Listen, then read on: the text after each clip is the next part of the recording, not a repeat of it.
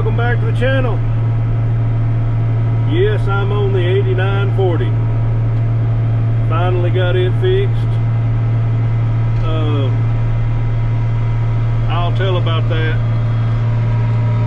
at the end of the video, what all has happened and what was the matter and uh, it's not as bad as what I thought. So I'm about to go cut hay and just stay tuned to the end of the video if you want to find out what's going on with this rig. See you then.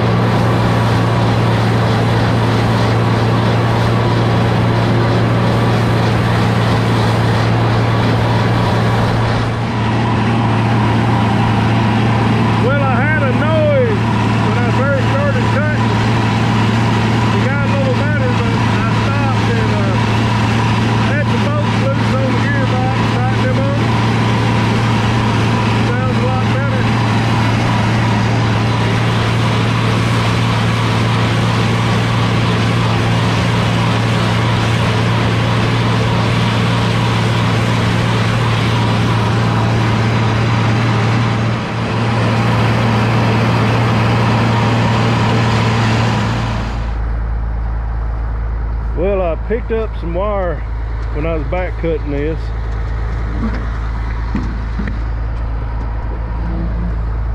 Or something.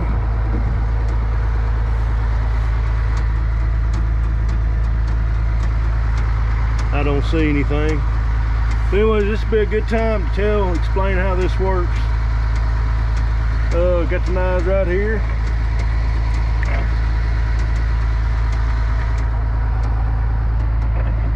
They spin around and cut the hay and feed it up in between them rollers. That crimps it, dries it out.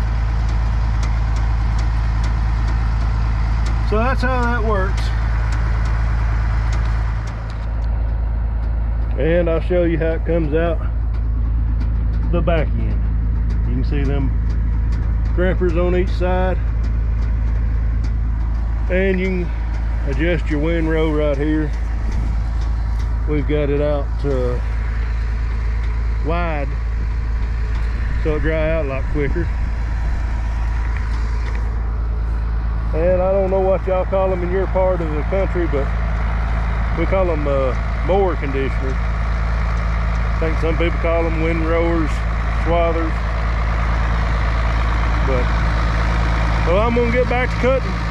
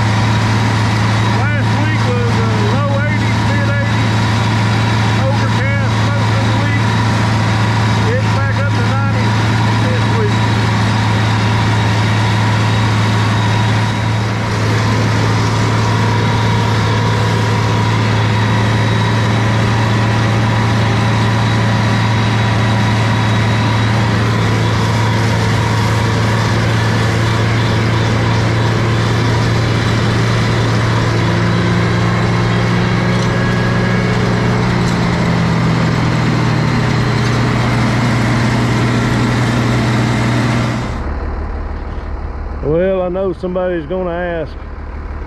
That's all right. Uh, this is a Kuhn mower conditioner. We bought it new in about 2006. It's a FC 4000 RG as you can see. And uh, the cut on it is 13 foot 9 inches.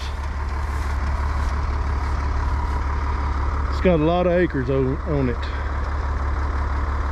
Uh, but yeah, that's what it is. It's a center pivot. And that reminds me I need to straighten it up before I leave out of this field. So uh, we'll catch y'all back at the 8940 and I'll tell you what's been going on with it.